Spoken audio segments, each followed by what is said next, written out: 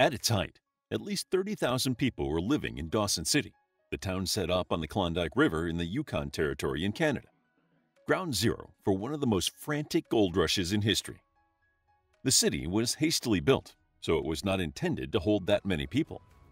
Sewage systems were not introduced until 1899, after the Klondike Gold Rush was officially over, leaving the prospectors to suffer from various diseases, including typhoid and dysentery, in their quest for gold. Most people know the famous gold rushes that sent people west across America in search of sudden riches. While a few people were lucky, most had to struggle to survive in lawless, unhygienic sites in the hope of getting a few pieces of gold. One of the last and most frantic gold rushes in North American history occurred around the Klondike River in the Yukon Territory in Canada. Although this gold rush did not happen in the United States, it still significantly impacted the whole continent mainly as the United States had recently acquired Alaska, located close by. The Klondike Gold Rush showed the world that people were still looking for easy wealth, and their pursuit of it was powerful enough to change the course of nations. It's time to look into one of the last gold rushes to see how the Klondike Gold Rush continues to impact North America today. What led to the Klondike Gold Rush?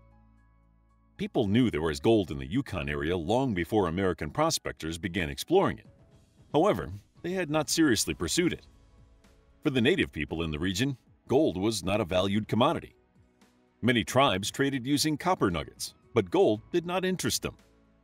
The area's gold reserves remained unexplored, even when the Hudson's Bay Company and the Russians arrived. They focused on fur trading instead of chasing after rumors of gold. The fur trading was profitable enough to keep the explorers uninterested in verifying the legends. Of course, this did not keep the prospectors away forever. They began arriving in the latter half of the 1800s, reaching the Yukon Valley between 1870 and 1890. They opened up several routes and founded mining camps and towns. One of the most well known was Circle City, a town so busy it was known as the Paris of Alaska. It peaked in 1896 by this point, a few prospectors had found gold along the Yukon River, including Ed Schieffelin in 1883. However, the prospectors did not find gold in the Yukon River only. They also found it in the 40 Mile and the Klondike in 1886. Even this discovery was not enough to start the rush. That did not come until August 1896, when prospectors finally struck large gold deposits in the Klondike River. On August 16, 1896, a few prospectors decided to try their luck on Rabbit Creek, a tributary of the Klondike River. Prospectors George Carmack, Skookum Jim, and Tagish Charlie were following the advice of a Canadian prospector named Robert Henderson as they explored. But historians are not clear which of the three men actually first discovered the gold. George Carmack became the official discoverer, but the other two men were concerned the authorities wouldn't recognize their claims because they were Native Americans. Regardless, the men found a large quantity of gold, and Carmack quickly secured four claims, or strips of land that could be mined legally by the owner, the next day. Carmack took two claims and gave one each to Jim and Charlie. News of their find quickly spread, and by the end of August, Rabbit Creek was teeming with prospectors. Then, another prospector began exploring a creek that fed Rabbit Creek, later named Eldorado Creek, and discovered an even richer supply of gold. At this point, people started rushing to the area. Miners sold claims amongst themselves and to speculators for increasing amounts of money. When the news reached Circle City in Alaska, the town became a ghost town, even though they did not hear about it until winter. The prospectors there set out on dog sleds, eager to stake a claim before all the good claims had been secured.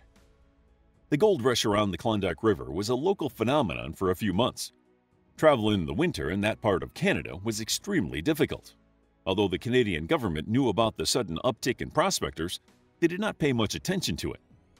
Everything changed in June 1897, when the first boats left the Yukon carrying the newly mined gold and the shocking story of this windfall. Soon, prospectors across North America were headed to the Klondike River, eager to get lucky in the last great gold rush. What was life like during the Klondike Gold Rush? The height of the Klondike Gold Rush lasted from the summer of 1897 to the summer of 1898, as about 100,000 people stampeded up to the Klondike River. They were spurred on by the recent economic recessions, and the promise of incredible wealth. Some cities also saw opportunities and established themselves as supply centers or trade posts. Between 60 and 80 percent of the prospectors were American or recent American immigrants, many of whom resigned from their jobs to try their luck. Of the 100,000 people who set out for the Klondike Gold Rush, only 30,000 to 40,000 people arrived. Some of this can be attributed to the difficulty in reaching the Klondike River. The only way to reach it was via the Yukon River. Travel was generally tricky, and winters were long and cold. Some prospectors sailed to the site, using ocean and river boats to arrive quickly, although that option was expensive.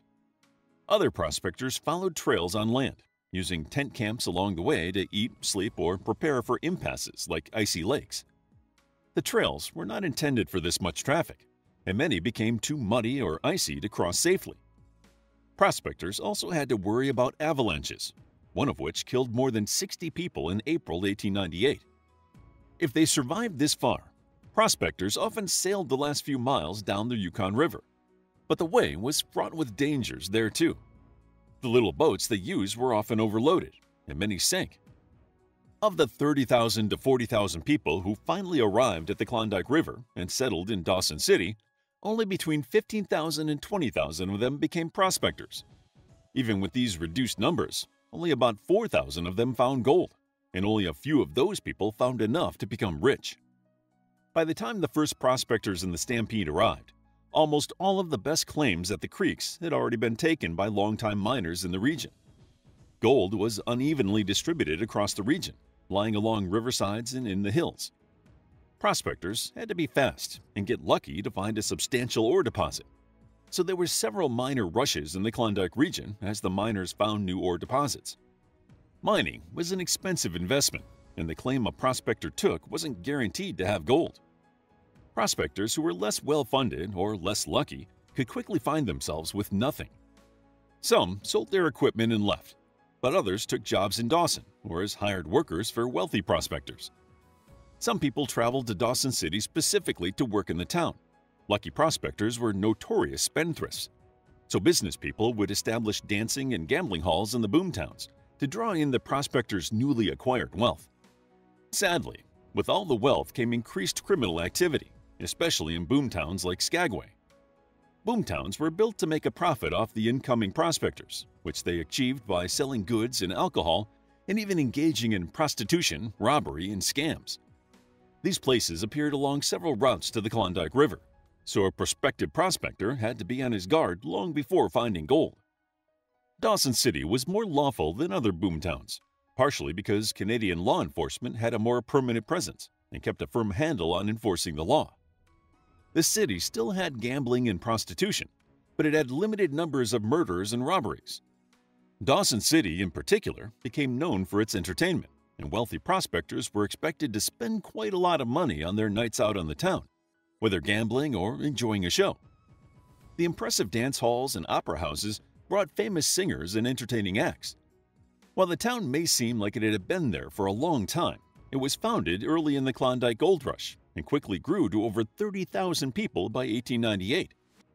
The buildings were made of wood and hastily constructed, which made them susceptible to fires. The city had no paved streets, running water, or sewage system.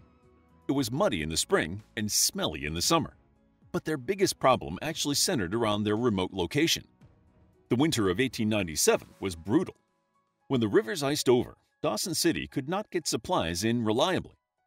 Some prospectors evacuated to Fort Yukon, while others attempted to make do. Prices soared, especially since access to supplies like salt and butter fluctuated.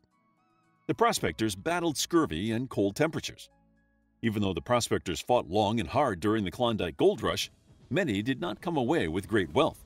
Instead, the Klondike Gold Rush ended as many other gold rushes had. The wealthy few took their new riches, and the surviving unlucky prospectors either went home or sent out in hopes of getting lucky on the next round of prospecting elsewhere. Many of those unlucky prospectors left in the summer of 1898.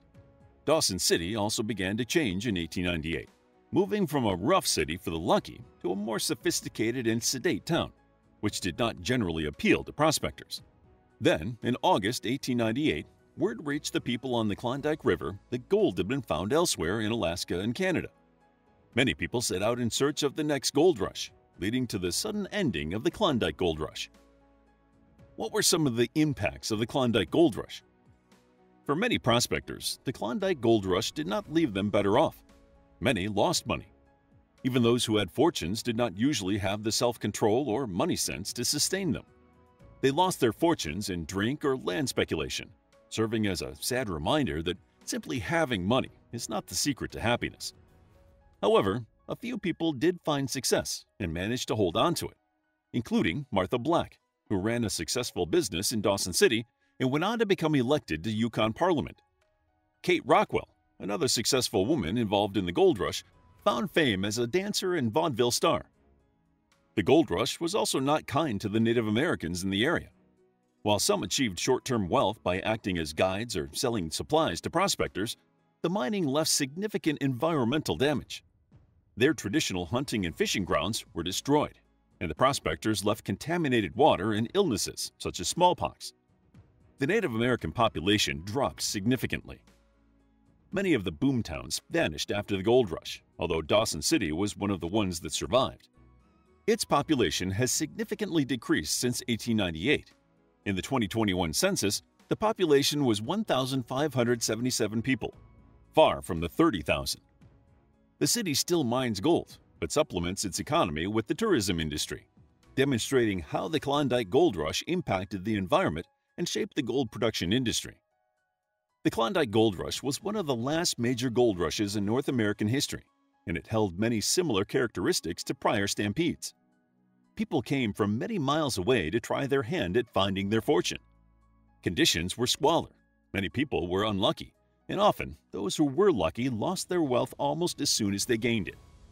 Yet, the Klondike Gold Rush reminds the world how far people are willing to go for the chance at a better life. The promise of easy money continues to call, and the Klondike Gold Rush reminds us that easy money is rarely easy to get and never guaranteed. How would you like to get a deeper understanding of history, impress your friends, and predict the future more accurately based on past events? If this sounds like something you might be into, then check out the brand new Captivating History Book Club by clicking the first link in the description. To learn more about the Klondike Gold Rush, check out our book, The Klondike Gold Rush a captivating guide to the major migration of gold miners to Yukon and its impact on the history of Canada and the United States of America. It's available as an ebook, paperback, and audiobook. If you enjoyed the video, please hit the like button and subscribe for more videos like this.